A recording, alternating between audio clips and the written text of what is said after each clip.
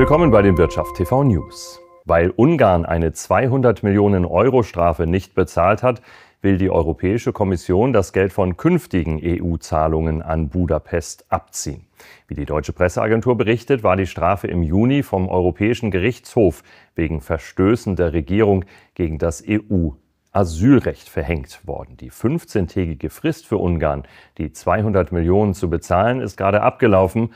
Laut einem Kommissionssprecher werde daher ein sogenanntes Ausgleichsverfahren eingeleitet. Der Europäische Gerichtshof hatte im Sommer eine außergewöhnlich schwere Verletzung von EU-Recht seitens der Regierung des konservativen Regierungschefs Viktor Orban festgestellt.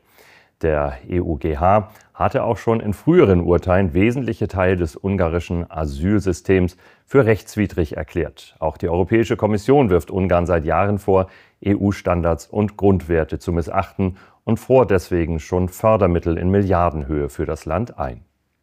Das waren die Wirtschaft TV News. Bis zum nächsten Mal.